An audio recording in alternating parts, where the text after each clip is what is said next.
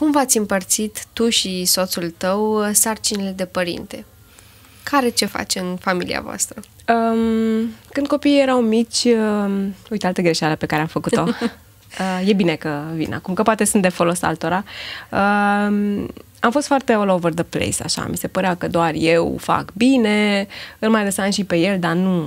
Copiii plângeau, hai, lasă, lasă că fac eu.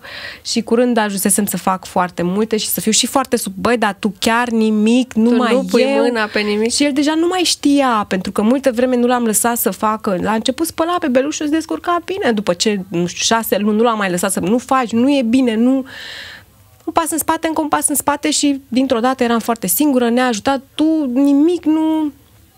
A fost nevoie de niște ani să mă dezmeticez din etapa asta, pentru că eram copleșită, sufocată, de ceva ce eu singură construisem pentru mine. Da, e un paradox, pentru că vrei foarte mult să fie bine copilului și nu te mai uiți la tine. Da, și vrei tu să ai controlul absolut. Da, da. Și e normal că e ceva extrem de prețios acolo, nu vrei să faci niciun pas greșit, dar asta e o greșeală foarte mare, că ajungi să fii obosită, foarte frustrată, are nevoie și mama de spațiu ei. Și de un pic de respiro. Exact. Și dacă nu lași tatăl, bunicii, oricine, e oricine, și un vecin, domnule, nu mai pot, trebuie să ies o jumătate de oră, că nebunesc, mai ales dacă ai un bebeluș care la început plânge mult, nu doarme, ai probleme cu alăptatul sau astea sunt lucruri care te consumă foarte mult, pentru că e important, ți se pare că totul e un capă de lume.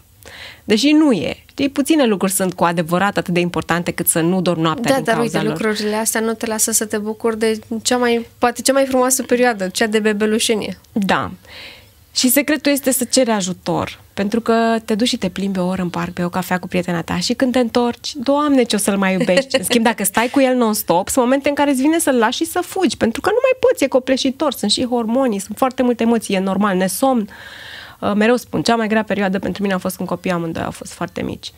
Um, deci acum aș face altfel, aș chema pe soacra, vrei, vrei să vii, dar te rog, poftiți, uite, o lună tu, o lună vine mama și Facem soțul, cu ia rândul. tu, fă tu, eu, uite, vreau să ies, vreau, mă duc la masaj. Deci ai delega, dacă te-ai aș, întoarce aș, în timp. da, nu aș mai face eu totul, cu siguranță m-aș fi bucurat mai mult de primii ani ai copiilor. Părinți pregătiți. Un podcast DGFM cu Beatrice Ghiciov. Ca să știi.